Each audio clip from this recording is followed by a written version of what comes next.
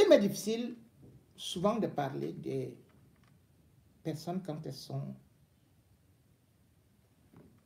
dans des difficultés de santé. Aussi, lorsque j'ai parfois regardé Brenda, ça m'a souvent fait pitié parce que quel que soit ce que les parents font, malgré le fait que la Bible dise que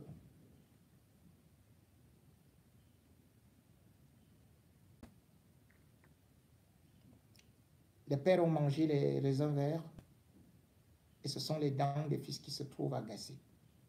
C'est le prophète Ézéchiel qui le dit. Mais j'ai souvent eu la douleur lorsque je vois certains de ces comportements. Parce que je sais que elle souffre. Aussi, même si sa maman préfère seulement jouer la vie avec Moudiki, se remplir des poches, il y a des incidents qui, parfois, ternissent la réputation d'une famille. Surtout lorsque une famille présidentielle ne parvient pas à tenir ses enfants, sa belle famille, à donner quand même une certaine image. Nous étions donc habitués au scandale de Brenda, mais cette fois-ci, nous sommes beaucoup habitués au scandale de la belle-fille de Chantal Biya et de Paul Biya, Sandra. Plusieurs fois, elle a commis des dégâts. Que ce soit dans des restaurants ou que ce soit dans la maison et surtout dans des réseaux sociaux, elle a nargué des Camerounais, leur disant qu'elle dort avec Macron. Elle a encore dit beaucoup d'autres choses. Elle a souvent eu à présenter Chantal Biya comme étant une véritable sorcière. Elle nous a présenté déjà Franck Biya comme étant un drogué qui a été euh, radié, rapatrié des États-Unis. Elle nous a déjà dit que dans la maison où elle devait habiter, on voulait Chantal Biya voulait voler ses enfants, voulait la tuer et garder ses enfants. Elle nous a déjà dit que les, les ampoules dans sa maison se transformaient en serpents et que les miroirs devenaient Satan ou bien il y avait des gens qui dansaient dedans. Bref, c'est des choses qui montrent quand même une dépression et une certaine, euh, une un certain malaise dans son être. Mais ce qui est beaucoup plus grave, c'est que au lieu qu'elle soit dans un hôpital, on préfère la faire vivre dans un hôtel où elle multiplie des gaffes. Pas plus tard qu'en novembre 2022, elle avait déjà eu à gifler un employé du Hilton Hôtel, sans pour autant oublier les multiples scandales qu'elle fait là-bas, avec bien sûr euh, ses jupettes, ses robes, euh, qui, ses robettes qui arrivent ici, laissant voir toute sa poitrine et tout et tout et tout. Et au-delà de ça, les factures qui s'accumulent. Nous avons dénoncé ça. Mais au lieu que la famille présidentielle trouve une solution, elle laisse plutôt faire, comme pour nous narguer. Cette fois-ci, Sandra fait habiter toute sa famille, y compris sa mère, à l'hôtel Hilton. Dans cet hôtel Hilton, dernièrement, il y avait euh, le président de la SEMAC qui n'avait même pas de place parce que, disait-on, la belle-fille du président confisquait une suite présidentielle, encore que là-bas, elle a au moins trois appartements. Mais ce qui est beaucoup dérangeant est que non seulement ses enfants font du bruit partout, courent parce qu'elle a une basse-cour avec sept enfants, mais surtout, elle met tout le monde mal à l'aise.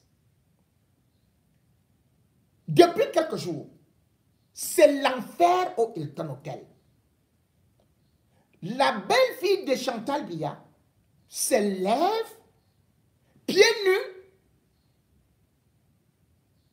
ou même dans une tenue presque d'Adam ou d'Ève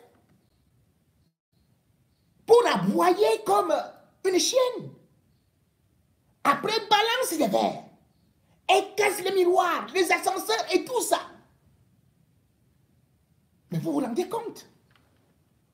L'hôtel Hilton, c'est le seul hôtel de Yaoundé où des personnalités venant de plusieurs pays, les hommes d'affaires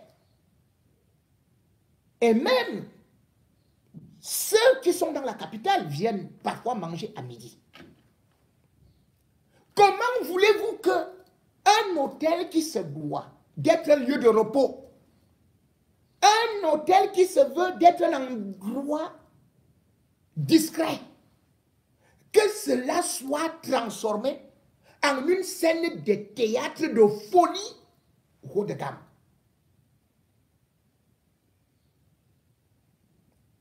Aujourd'hui, les responsables du Hilton ne savent plus quoi faire, puisqu'il y a un collectif de clients qui a décidé de saisir la maison mère. Imaginez que Sandra, dont le mari est, je crois aussi Franck, Franck Hertz, ah oui, le Franck là. Vous connaissez son petit nom? Kadhafi. On le surnomme Kadhafi. Ils ont une maison à Bastos, mais elle ne vit pas là-bas. Lui, pendant ce temps, il court à gauche pour faire d'autres enfants. Et la belle-fille du président de la République, de la première dame, sème la terreur en pleine capitale, au Hilton. Ni la police, ni la gendarmerie ne peuvent intervenir. Bien au contraire, ils nous appellent encore pour dire que oh, nous, on ne peut rien. Si tu peux seulement parler, c'est quelle honte ça Tu vois comment les blancs, les blanches pleurent. C'est terrible. Les clients sont en train de courir comme dans un film d'horreur. Où est-ce qu'on a vu ça? Ça peut être installé. Vous vous rendez compte? Et c'est le contribuable camerounais qui paye. Chaque jour, dès le matin, elle a déjà commencé à boire du champagne. Le blanc des blancs. Sa fille est là, avec le piercing, au niveau du nombril. Ou bien 11 ans. Les fesses sont dehors.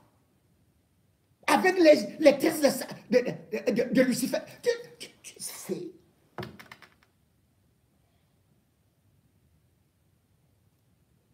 Le c'est une marque américaine. Ce n'est pas une marque de billard. Ce n'est pas Biya qui a construit le. Ce n'est pas Chantal Biya qui a construit. Est-ce que vous êtes incapable de construire les hôtels Vous êtes incapable de construire les appartements privés pour loger votre belle-fille Mais attendez, les Frank Hertz, Patrick Hertz, ils passent le temps à faire des marchés publics. Que ce soit les marchés de la canne, du Covid, ils sont partout dans tous les marchés. Ils sont incapables de loger leurs femmes, leurs épouses, leurs enfants. Ils donnent des biens pour... Mais, mais c'est quand même hallucinant, cette fin de règne. Tout le temps, oh, c'est anniversaire. Oh, machin, on va faire ceci. On va fêter, tout, tout, tout. Regardez donc. Elle a invité euh, l'influenceuse Coco Emilia. Qui actuellement très malade. Bien évidemment, moi, je ne peux pas l'accabler parce que chacun d'entre nous a toujours des problèmes de santé. C'est elle qui a souvent dit que Paul Biya est son père. On l'a invité à l'anniversaire. Et on parle d'un poison. Ce poison est venu d'où? On ne peut pas me dire subitement que une dame qui me paraissait euh, assez pimpante, dynamique, que subitement aujourd'hui, quand j'entends certains échos, qu'on dise, qu'on parle de rein, bousier, de foie, cela veut dire que qu'elle a mangé quelque chose de très très grave, ou elle a bu quelque chose de très très grave. C'était où? Et pourquoi seulement ces malaises sont commencés? Après ce soi-disant anniversaire où elle était aussi curieusement invitée avec son ex ou qui, celui qui s'est dit milliardaire, qui n'a même pas un centime là. Comment on l'appelle? Ou Francis ou là. Le seul milliardaire qui, le seul milliardaire congolais qu'on ne retrouve pas sur Google ou sur Wikipédia. C'est... Et on ne voit pas. Comment est-ce que elle qui disait donc qu'elle est aussi la fille de Bia Comment on l'aide Mais Paul Bia aide là. Aide Coco Emilia. Chantal Bia aide Coco Emilia. Elle vous a aidé beaucoup, non? Elle a fait votre promotion, non? Et c'est chez votre fille, après là, qu'elle est tombée malade. Sauvez-la. Sauvez Coco Emilia. Sinon, nous, là, on va donc commencer à parler. Sauvez-la. Évacuez-la. Comme vous savez aussi évacuer vos enfants. Ce n'est pas que vous utilisez les autres enfants, les enfants des autres, pour faire vos choses. Et derrière, vous faites semblant que vous ne les reconnaissez plus. Vous connaissez bien Coco Emilia. Moi, je ne la connais pas. Je l'ai peut-être vue deux, trois fois dans les réseaux sociaux comme enfant. Moi, je ne sais pas ce qu'elle fait. Mais quand elle est en danger comme ça, parce que euh, elle représente quelque chose pour certaines personnes, la preuve c'est qu'elle est suivie par plus de 2 millions de personnes. Pourquoi est-ce que vous vous allez donner les jets privés à Brenda? Hein? Pourquoi elle mérite les jets privés? Et tout ce qui se passe là en Suisse et tout et tout, je suis au courant. Je vais en parler dans les prochaines émissions. Mais là, là, là, ces malaises-là ont commencé là, dans cet anniversaire-là, en janvier, l'anniversaire de Sandra là. Vous devez résoudre ça.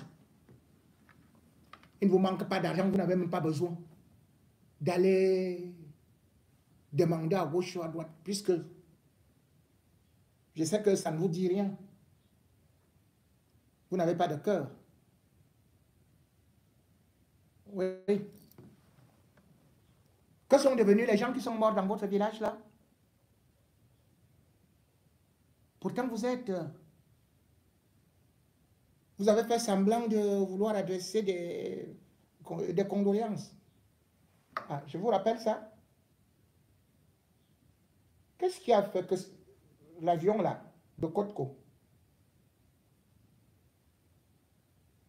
aille clasher dans votre village, Chantal Vous pouvez m'expliquer ça? C'était le 11 mai 2022. Expliquez aussi au peuple camerounais. Il y avait deux pilotes.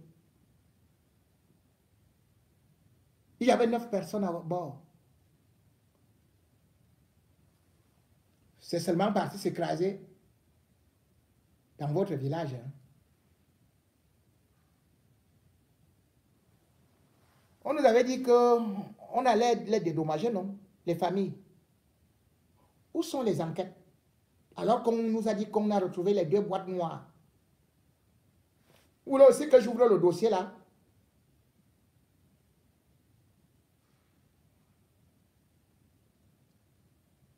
Vous êtes actionnaire de Côte-Côte. Et l'accident qui s'est produit, vous savez dans quelles conditions ça s'est produit.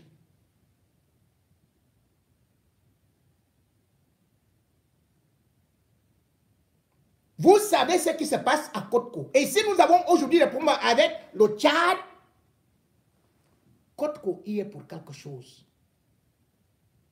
vous, Chantal Bia, avec, bien sûr, votre amie Nathalie Moudiki, apprenez à dire la vérité. Et surtout quand c'est gâté, au moins faites semblant d'humanisme, faites semblant d'avoir un cœur. Parce que ce sont aussi les enfants des autres, ce sont les parents des autres qui sont partis mourir dans cet accident-là. J'y reviendrai.